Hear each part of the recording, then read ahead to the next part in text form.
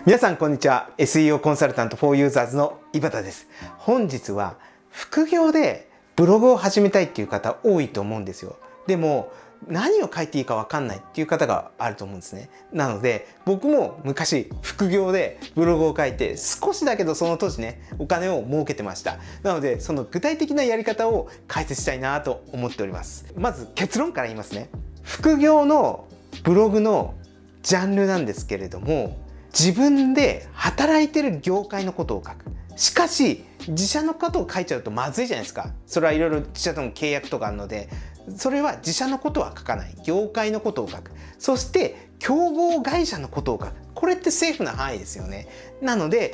自分の仕事の内容のことについて書くっていうのをやってほしいんですね。実は僕まあ今までいろんな会社に所属してたんですけどやってたんですよ。そして僕もさすがに正社員だったので自分の会社のことを書くのはもう絶対 NG です。なんですけども業界ことを書くのはいいじゃないですか。だから業界のことを書いていた。プラス競合会社についても当然詳しいですよね。なので競合会社のことについてブログを書いてたんですね。だからキーワードは必然的にまあ〇〇業界とかあの〇〇評判。この〇〇には競合会社名が入るんですね。でこれのいいところっていうのはあの、まあ、もしね競合が楽天だとか競合がビッグカメラだとかだとあのちょっと難しいかもしれない。なぜならあのレッドオーシャンなんで。ただほとんどの方って、まあ、結構マイナーなジャンルだったりとかすると思うんですよ。それでその〇〇会社評判って書くとそしかもプロじゃないですか。その会社で正社員としてやってるので。競合のことをそこら辺のブロガーとか相手にならないですね。なので突出したブログが書きやすい。それで SEO の順位っていうのも必ず1位になってだって一番詳しい人が書いてるんですもんね。だから今日まず自分の仕事のジャンルについて書く。そして競合の会社名の〇〇評判っていうふうに書く。っていうのなんです。でこれのメリットっていうのがあって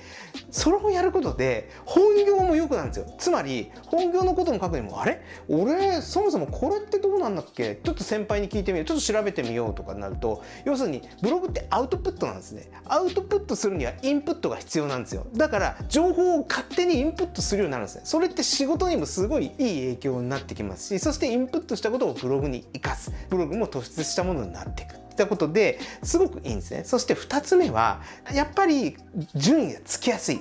その競合会社について詳しいのはその業界の人だけなんでそれについて書くっていうのはすごく SEO の順位がつきやすいっていうメリットがあるんですね。そしてできればですねあの多分ここ皆さん気にしてると思うんですよ。副業いやいやイボさんね副業だからお金儲けるためにやってるんですよ。俺の仕事正社員の仕事って B2B なんですよ。アフリエイトとかもないしそんな儲かんないとかってあの思うからやる意味ないんじゃないのって思うんですけどそこがあれなんですよ。アフリエーターさんとか副業さんとかって一番最初に必要なことって収益を得ることじゃなくて自信をつけることなんですよ。なのでニッチなジャンルでも狙ったキーワードで1位にするっていうことになれば自信になるしノウハウができるじゃないですか。そして何よりも検索して上に出てくるっていうのはもうかけがえのないことなんですね。だからまずそれをやっていただきたい。そして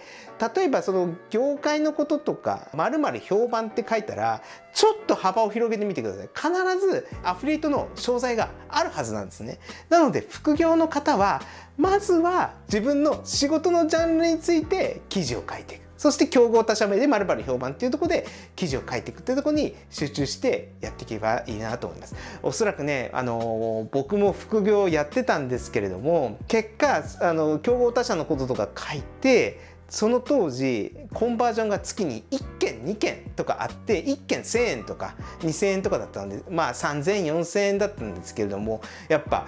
副業でブログやるっていうのは1円でも入ってくると全然違いますよ。それはもうこれから副業やろうっていう人ともう副業で1,000円2,000円毎月何もしないでも入ってくるっていう人はもう運命の差なんでまずは副業ブログでやるって決めたら自分の仕事のジャンルそして自分の会社のことを書いちゃいけないので業界のこと競合他社のことを書いていく、えー、ったことが一番副業で始めやすいと思います。そしてお金にならないよって決めつけないでください。